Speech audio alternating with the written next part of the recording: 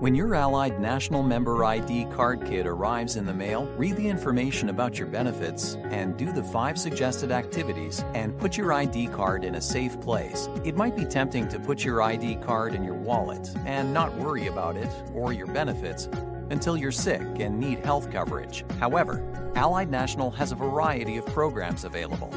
Just go to Member Connection, your online member portal.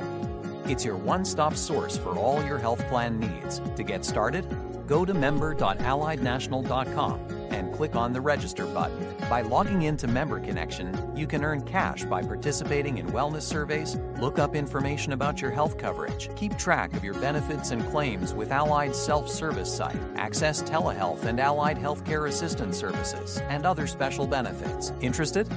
Go to member.alliednational.com and click on the Register button. You'll be glad you did.